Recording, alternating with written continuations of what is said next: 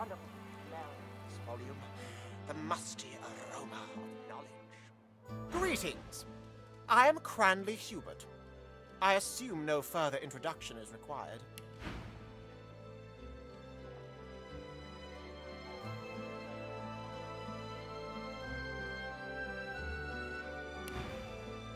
Oh, come now. Surely you've heard of my writing, or my work with the Historical Guild of Arx?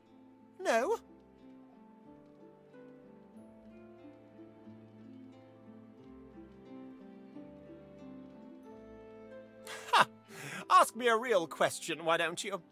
The answer is Hubert Oak, of course, my near namesake. A question for you.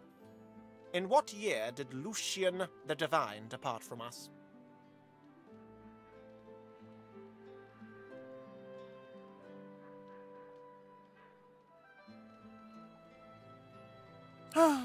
Correct. Perhaps I'm still being too easy on you. Any drunk on the street could have gotten that right. Time for a real challenge. Name the first king of the dwarves.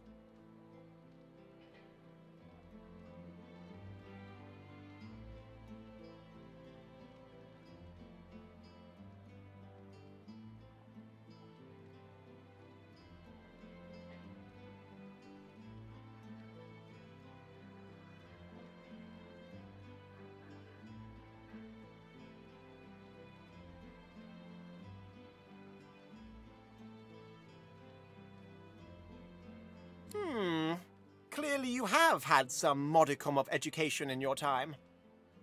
One final question. Answer this correctly, and you can consider yourself a scholar on par with yours truly. Fail, and I shall have to show you my door. The Sorcerer King from times of yore, Brachus Rex, had a twin. What was her name?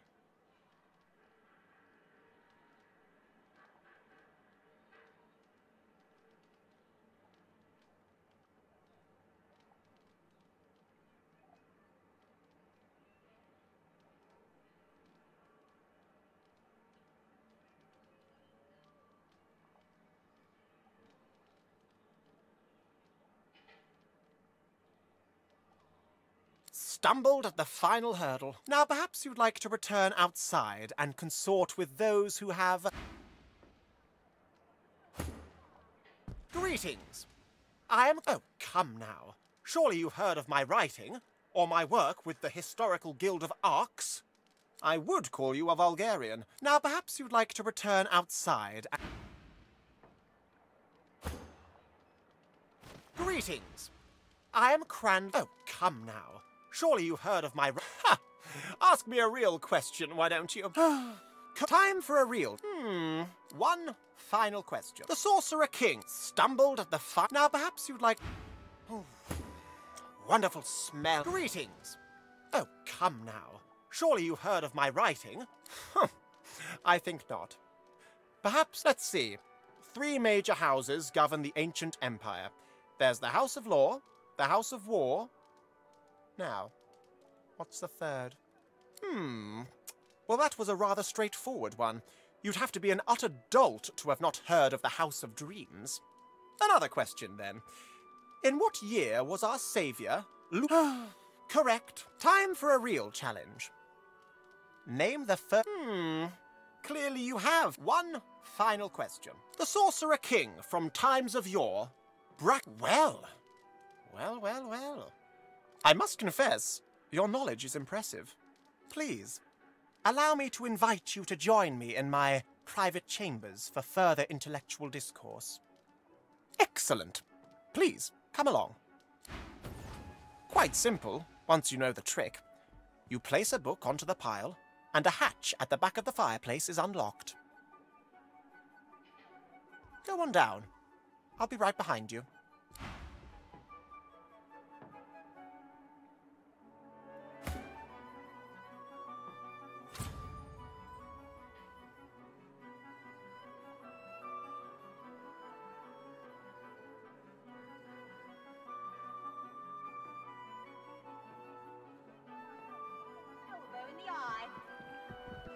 Beyond my sanctum, true intellect flourishes best in the dark, don't you think?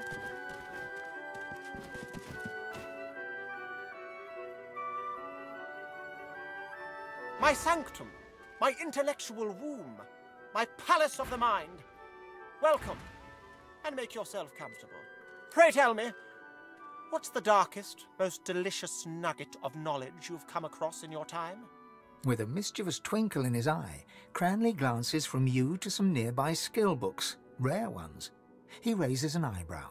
Impress him, and we might win a prize, it seems.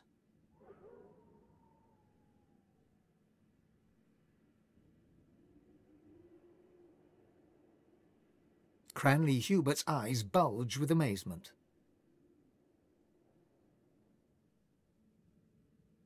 Oh, oh, I do. And please, let's not be so formal.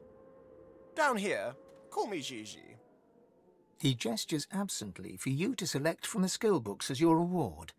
It seems that the poor fellow is quite taken aback by what you told him. Without another word, he wanders away from you, deep in thought.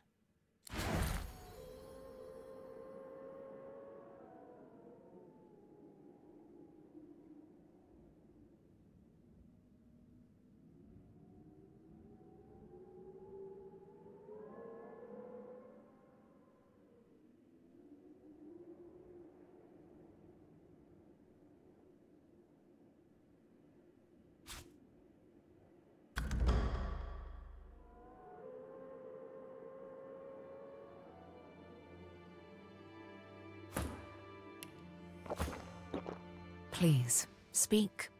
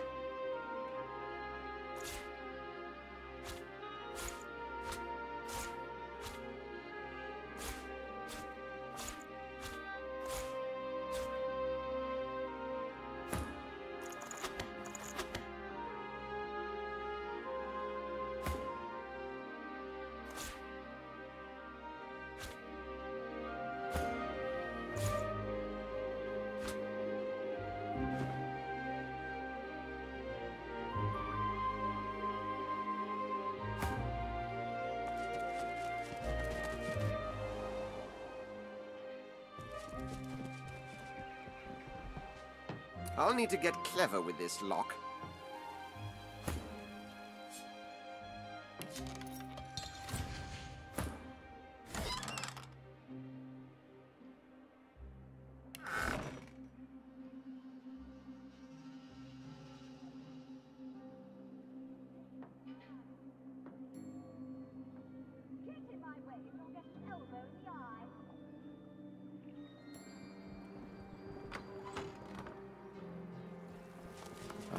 spotted something.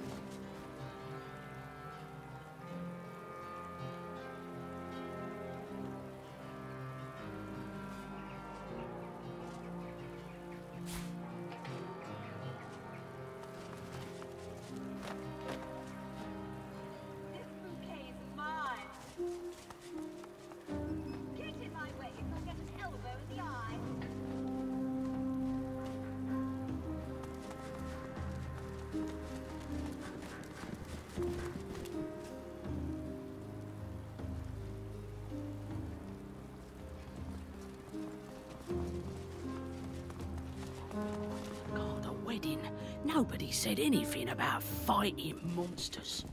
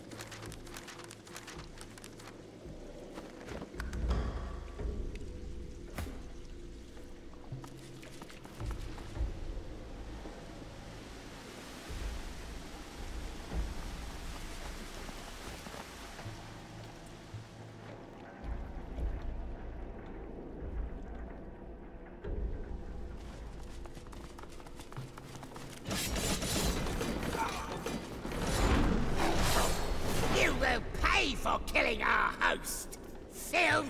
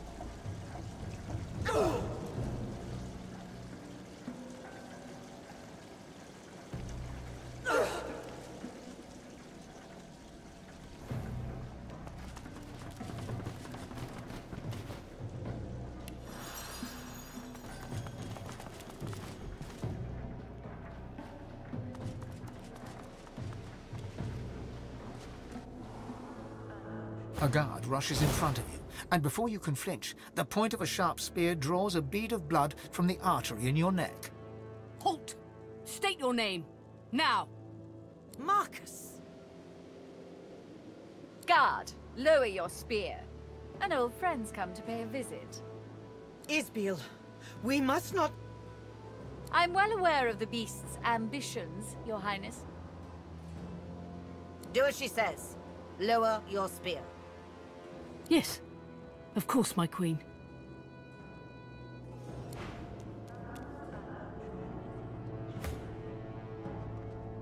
If you've business here, get on with it.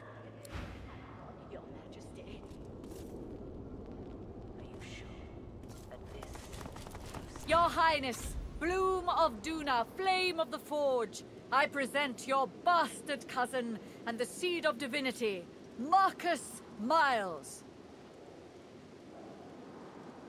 Marcus is dead. I am the beast of the sea, and you will address me as such. The Queen opens her mouth as if to speak, but Beast cuts her off with an ominous growl. I know your deceit, Justinia. I may be beast, but I'm no demon. And only a demon could dream up an evil like Operation Downfall. Isbeil intrudes before the Queen can speak. Your Majesty's brilliance has known no bounds. The Order has living tools of war. My queen must attack before they can invade the homeland.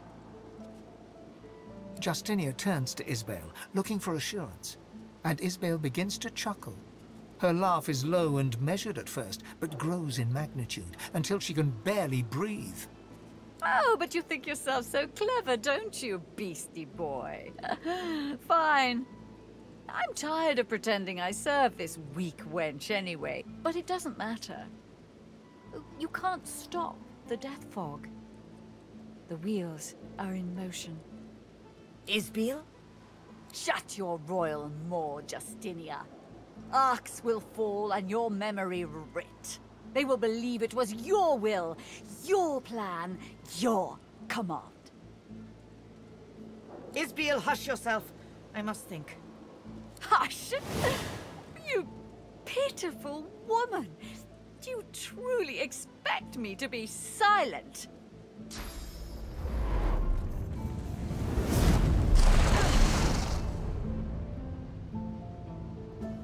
You blink yourself awake to the cold gaze of a thousand stones and the hot gaze of the dwarf Ismail, right hand of the Queen. Oh, good. You're awake. First I figured I'd just kill you. But then I thought, Isbeil, you're wasting an opportunity here. Don't bother thanking me just yet, though. I dare say you'll be begging to die before long. So I'll start with lesser toxins, just to see how you react, and take it from there. How strong a dose can a Godwoken handle? How long does it take for one to succumb? So many questions. Your lips open, but no words spill forth. You try to lift your head, but it is no match for gravity. She has paralyzed you. Only your eyes are free to move. Uh-uh, don't fight it. You'll only make things worse. Oh, but I've been so rude. You should know the real me. Oh, it's good to give myself a rest. Those masks can be darned pesky.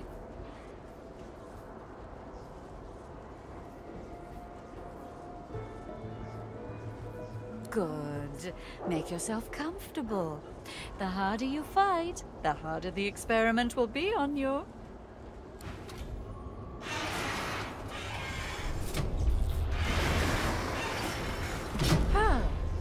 Dose proves quite alarming for my normal subject. Let's try a new approach, shall we? Let's see now. Oh, I have just the thing. Just a spritz, mind you.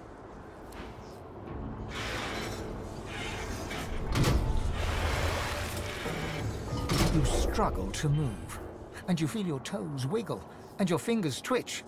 The paralysis is waning. Hmm, interesting. Some of the results are quite unexpected.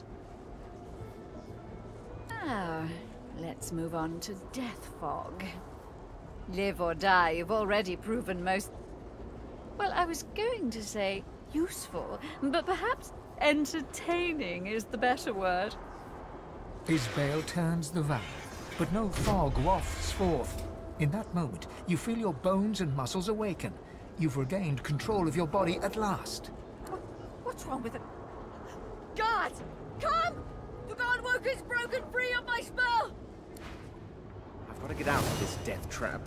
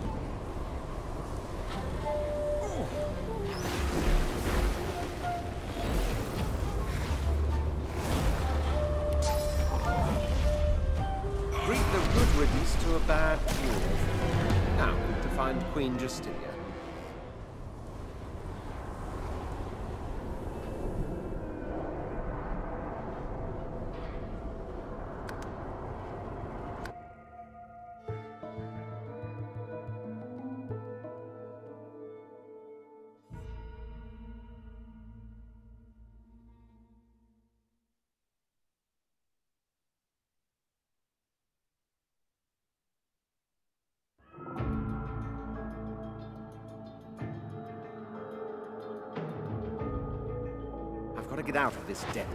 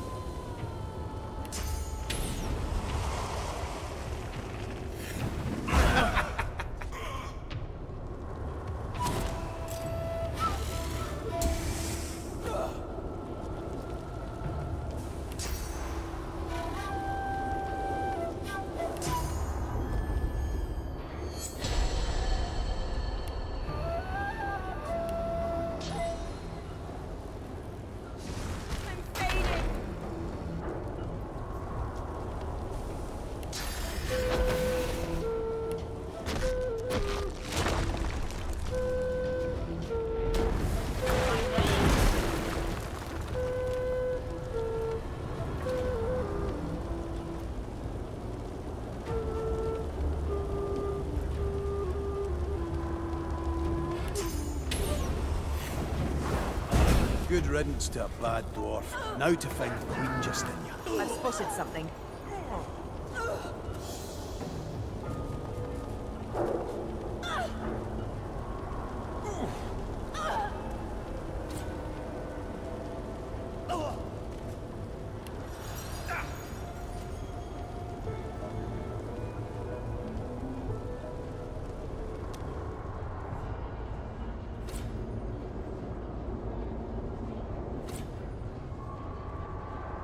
Look at your companions in shock. Black Ring influence or not, the enormity of the Queen's plan is revealed. To kill everyone in the city.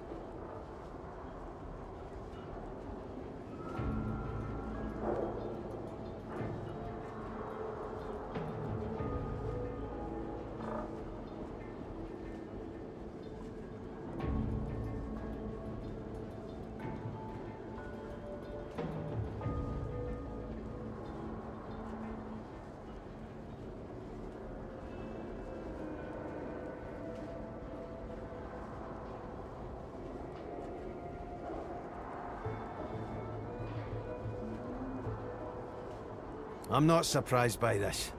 You shouldn't be either. You can't fight darkness with darkness. You just can't. Whatever she intended, the end result will be more death and destruction. An eye for an eye is all well and good. Thousands of eyes for an eye is somewhat of an exaggeration.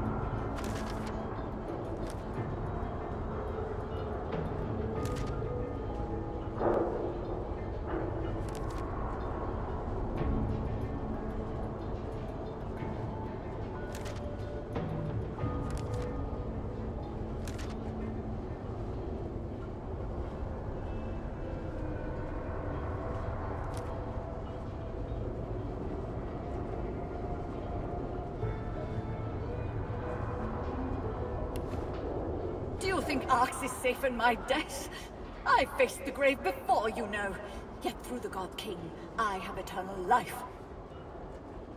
You've such a soft spot for that woman. Do you really think she didn't know exactly what releasing Death Fog into Arx would mean? Don't be fooled. I may have planted the seed, but she gleefully tended to it. My entourage is taking good care of her, I promise. Well, as good as you would expect. If she's missing a few digits, or bearing a few new bruises, that's just expected wear and tear. The Master's purpose is his own to speak, not mine.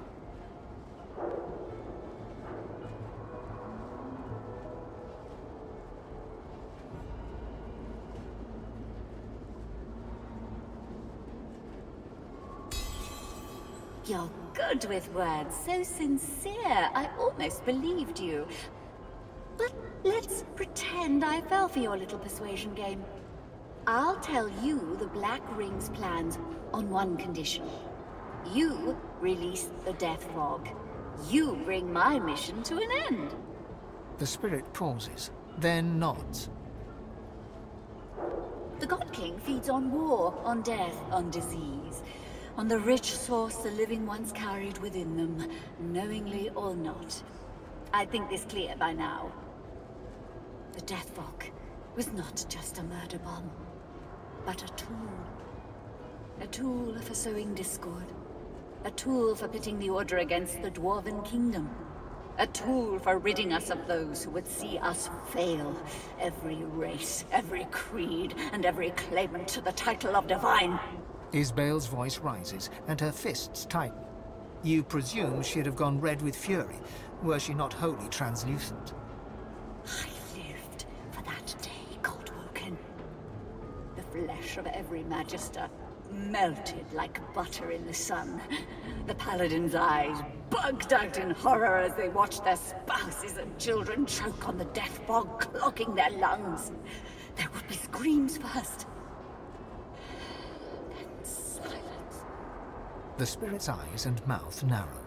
In her silence, the noise of splashing sewer water bounces from the stony walls and into your ears.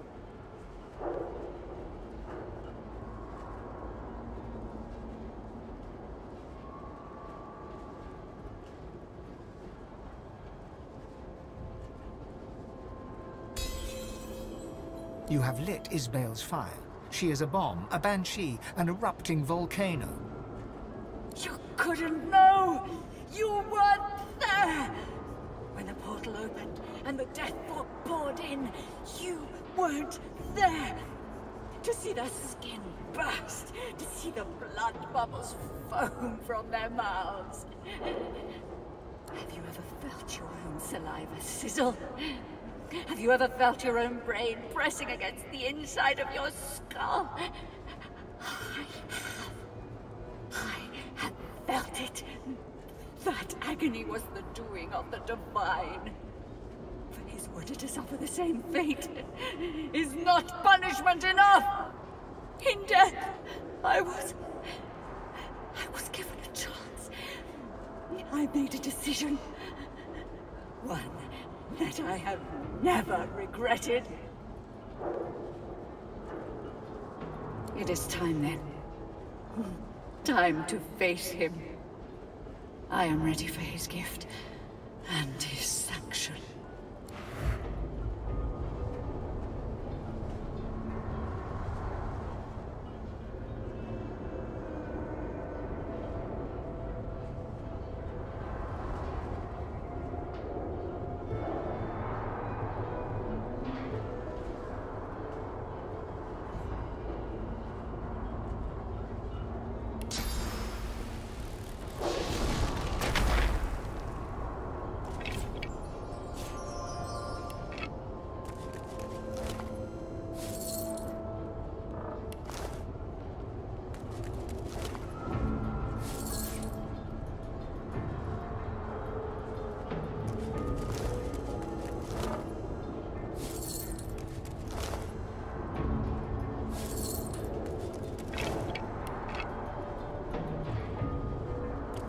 The spirit struggles for breath, a breath that will never come. An eternity choking to death beckons.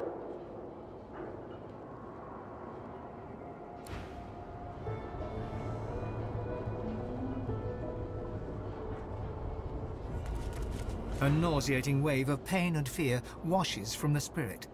Pain from what was inflicted upon her, and fear that her suffering would never end. The spirit laughs soundlessly at something unseen. You realize that what you thought was a maniacal glint in his eye is, in fact, the last glowing embers of the acidic fire that burned his eyeballs away.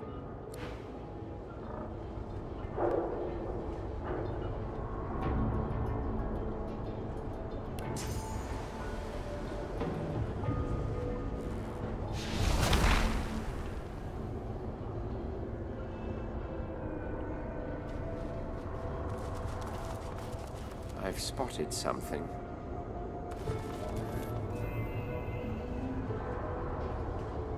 Twisted and torn in her heart and her mind, the spirit emits an unbearable desire for it all to be over, for good and forever.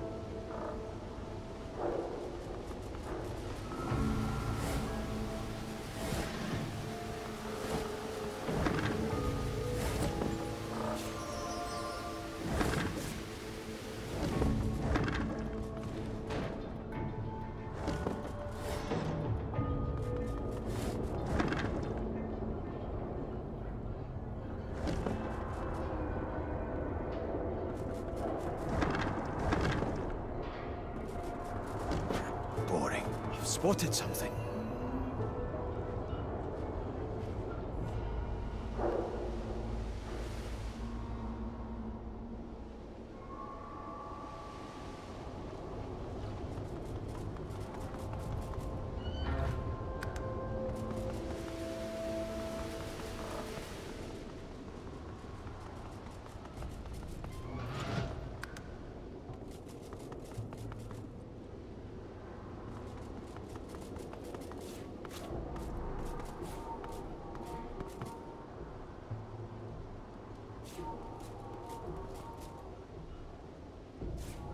Junk.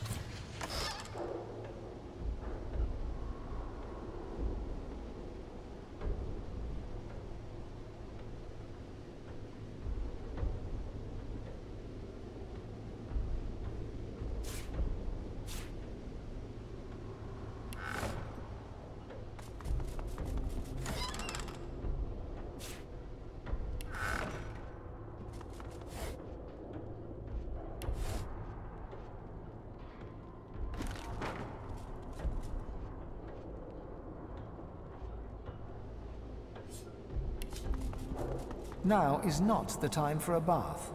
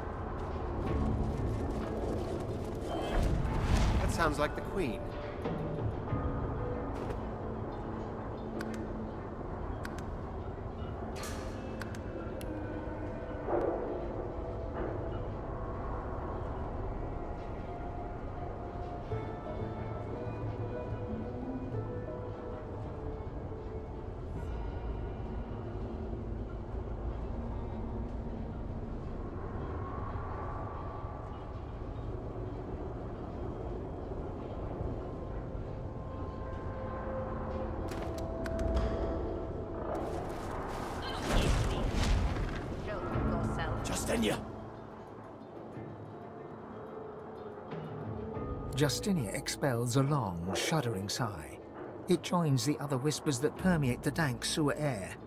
A moment passes.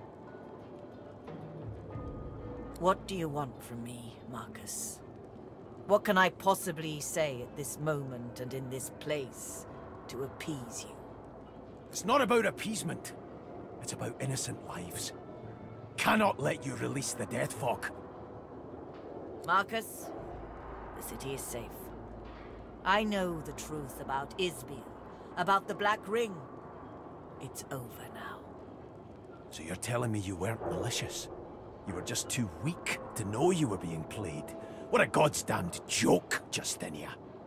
You're right. Is that what you want to hear? You're right. Go and tell everyone how right you are. But you know what your rightness won't do. Protect a kingdom. And protect it I did, while you went off to live your god's damned pirate fantasy. And if I knew then what I knew now, Marcus, I would still exile you. You would walk the Isle of Mist to this day, stalked by demons and living the nightmares they planted in you. Call me a fool or a tyrant. Call me whatever you want, but I was still there. I was there. I lived reality while you were playing games. Lad, you really lead me wrong. Call it. I know you got my back.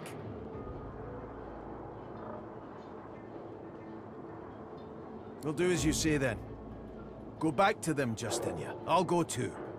We have to rebuild. For us and for them. Have you forgotten your own journey, Marcus?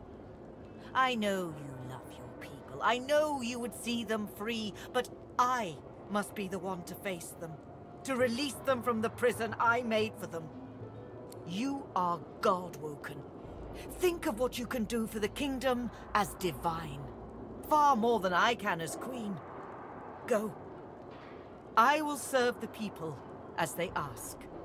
You will serve them as they warrant. Justinia kisses his cheek. You are the beast of the sea, the Godwoken, the divine in waiting. You will do your people proud.